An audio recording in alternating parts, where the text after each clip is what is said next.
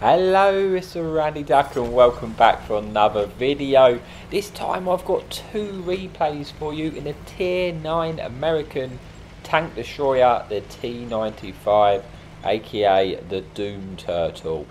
Now this is a tank which, I'm going to be honest, I don't play a lot because it can be extremely frustrating to play because it's incredibly slow, incredibly big and you can get slapped by the fun police and it can be frustrating.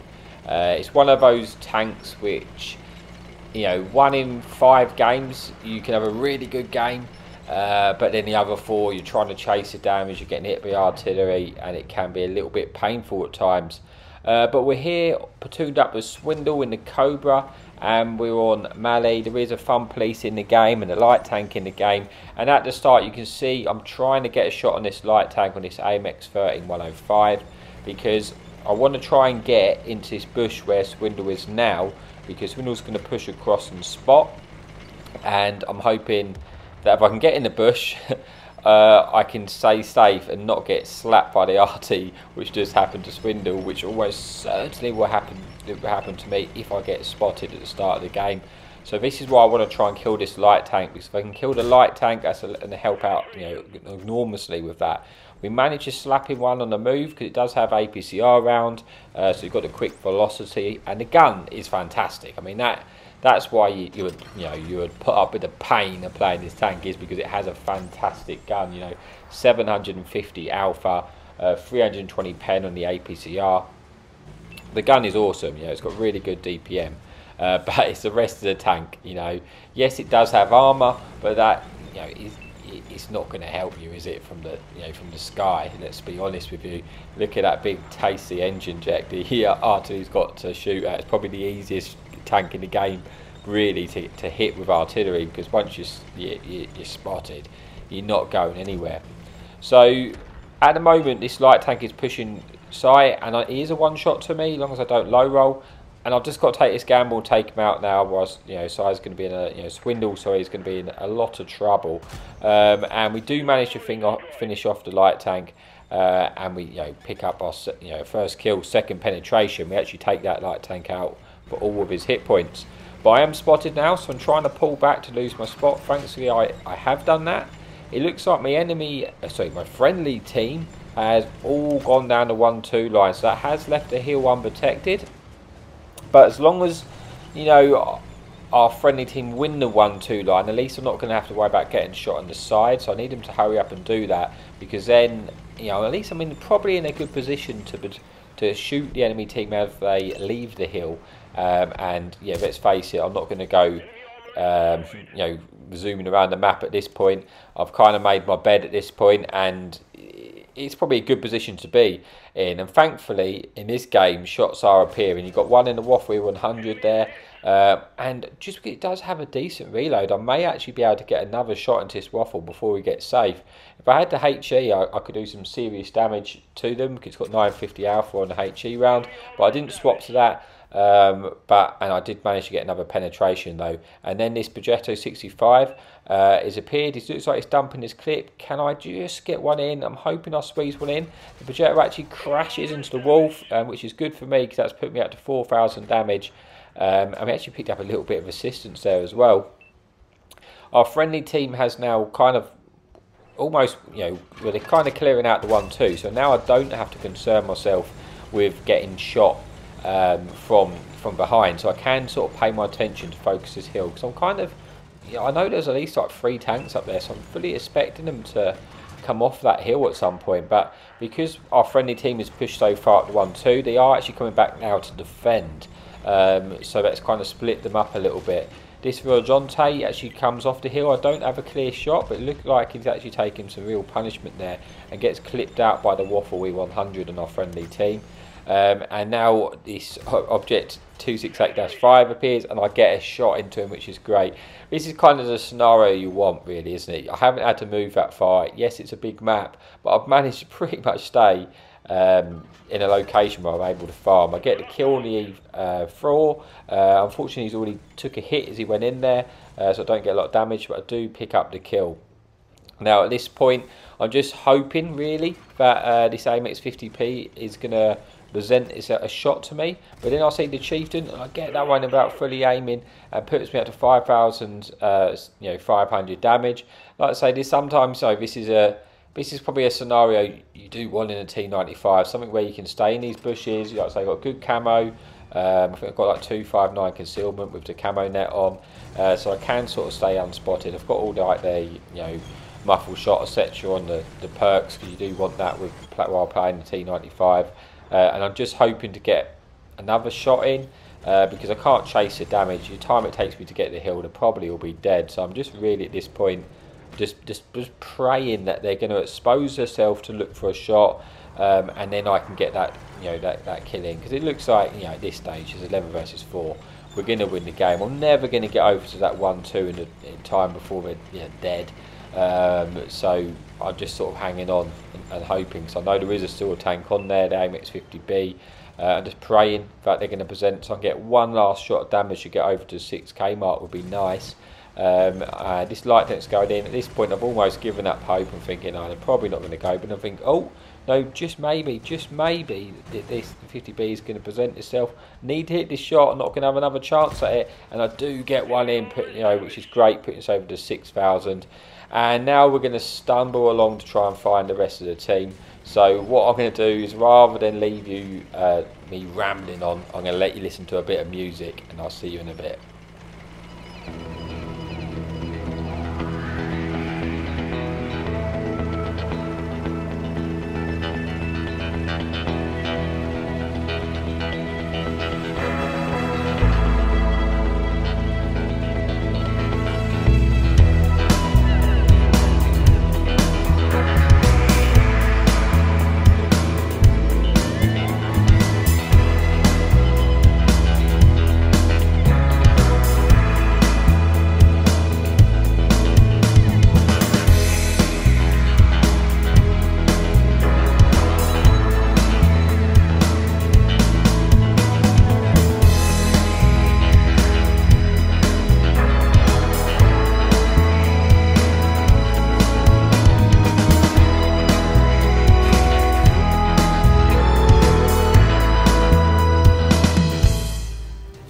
Okay, so that brings us an end to the first replay. We get 6k damage, 4 kills, 500 assistance, and we get the ace tanker and the high caliber. Uh, but we still have one more replay to come, so I will see you over there in a little bit.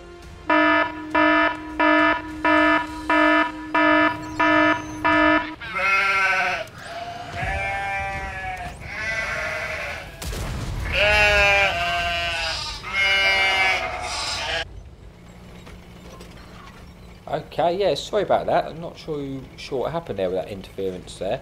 Um, but anyway, uh, on to the second replay. Uh, this time we are on Sunset Coast. It is a tier 10 lobby. Uh, this is an older replay I had saved up. There is one fun police, uh, two enemy light tanks uh, to concern ourselves with. But there is no cap circle. It's a team destruction, so we at least we don't have to worry about being capped out. Now, we do get a little bit more involved in this game uh, as in sense, you know, we do actually get spotted and, and, and we can use our armour a little bit. Uh, but at the start, we're going to try and get to a position, you know, where we can play as a tank destroyer and, and use our camo to our advantage uh, and see if we can get any uh, damage. Basically, we know there's going to be a few things, you know, crossing down this line in front of us, down the sort of JK line, if you like, um, and we're going to look to see where we can uh, you know get get shots. Unfortunately, it takes a while to get into position in this T95. And like I say, I've had countless times where I've just been driving around, uh, but I managed to get a shot into that Dragon to start, and it always helps your game when you get that nice early damage. Uh, yeah, just just helps relax. But I say it's part of the parcel with a T95 unfortunately. Sometimes in certain situations you can just be trying to chase the damage keep up with the damage and it's really a fast paced game. Although you've got such a fantastic gun you can struggle just to get there. Um, I mean it, it is a, a, tank which can actually play well sometimes on even Himmelsdorf and stuff, even in the smaller maps, uh, just because you do have armour to utilise. But like, like I say, is you know something gets behind you, you're going to be it's going to cause you all sorts of bother. Uh, we get a lovely shot into that Hawk 30, tracking him in place and actually picking up um, basically full hit points. We get a damage in, and then we get a little bit of assistance. We got a shot onto the Charioteer, uh, and that's puts us onto 2,000 damage. So already at the start of the game, know, we've had a decent start. It's gone well, isn't it? And we then got an opportunity to shoot the Emil, but it gets absolutely destroyed by our friendly uh, Turan and Chisel. Um, we're both sort of kind of using the same loca- uh, position here, but thankfully we do, you know, we both have cover. So I'm trying to back up because it looks like the enemy team are kind of pushing around the right, um, and I may need to try and get some shots into this Type 5. Unfortunately, that one doesn't pen. We could have waited a little while and actually aimed a better shot um, because, as I say, we do still have decent penetration. Um, obviously, we are going to lose, we have 320 pen, which is great um, on the APCR, we are going to lose a lot on the drop off um, over distance. But we get a nice one into his side, putting us under just uh, under 3,000 damage. And it's a pretty even game. It's, it's 9 versus 9. Uh, he doesn't stay that way for long, but at the start of the game, it is looking, um, you know, it's pretty close, you know. So we need to try and keep our tank in the game and keep getting these hit points in when we can. Unfortunately, we bounced another one off the Type 5, which is a shame um, because that's, that's two you know, big shots of damage we've missed out on there on, on an important tank.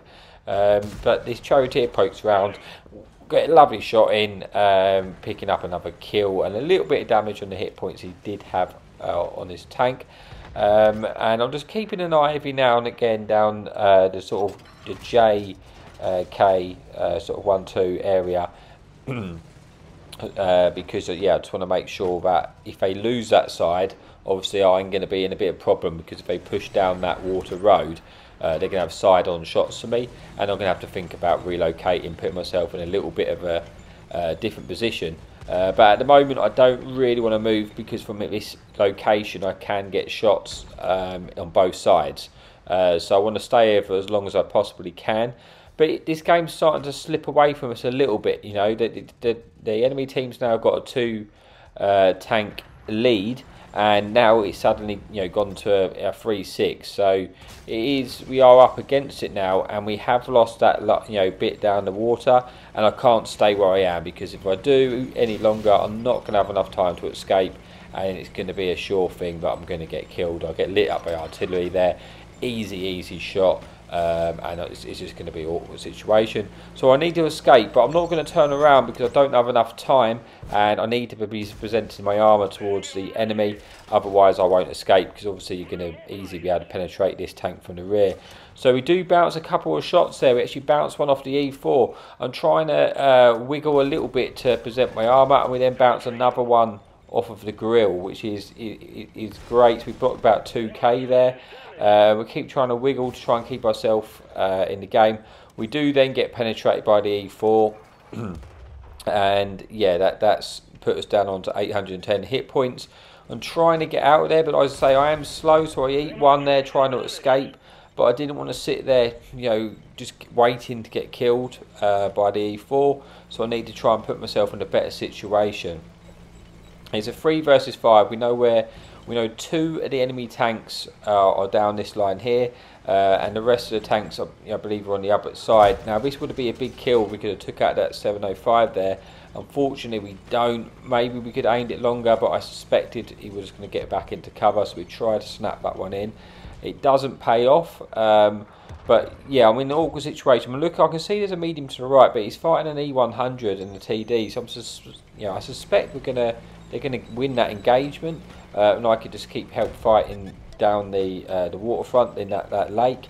Um, but now I've been lit there too long and it's only a matter of time until fun police start shooting at me. So I'm going to try and get to a position where I'm a little bit safe and see if I can put myself in a location where I'm close enough to a wall that I can try and get back into it. Because obviously if a enemy light tank, enemy medium tank or any tank as such gets behind you in this tank obviously being as slow as you are and obviously turret facing, then you are you know you just it's a sure thing that you're going to be killed because once they've got behind there's not a lot you can do to stop them um, path and you know just push them into the wall obviously they track you in place uh, you're going to be in an awkward situation. So I'm trying to stay patient, trying to get into a location where it's harder for the uh, fun police to shoot me, um, and also that I've got a little bit of cover. So I can see that where friendly fun police is dead, it is given us a bit of a useful wreck here because that obviously cuts off enemy team coming around.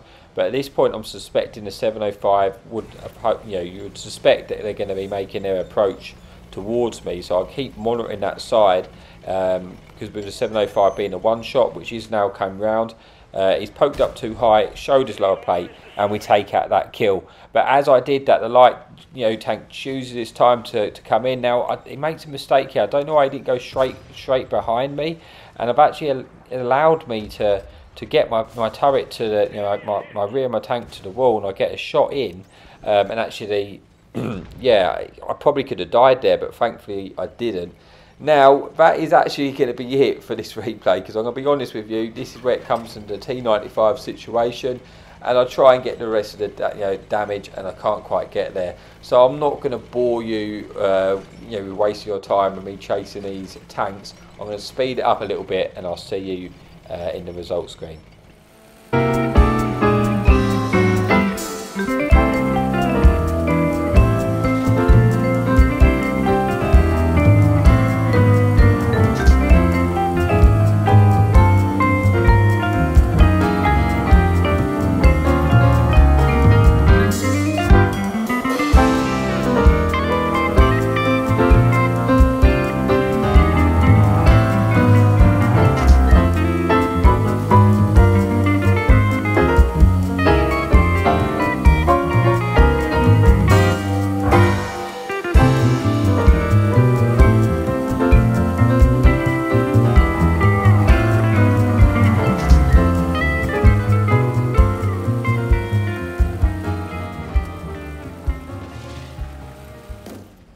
Okay, so that brings us an end to the video.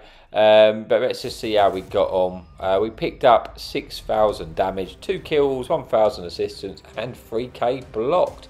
Um, and yeah, I am actually on holiday at the moment, just to let you know. So if I don't respond to your comment straight away, uh, don't worry, when I return, I will respond to them. But I've update, uploaded enough videos for the week to make sure I get my regular content out for you guys. Uh, and I really appreciate, as always, your support. It means a lot. And thank you so much for watching. And as always, happy tanking.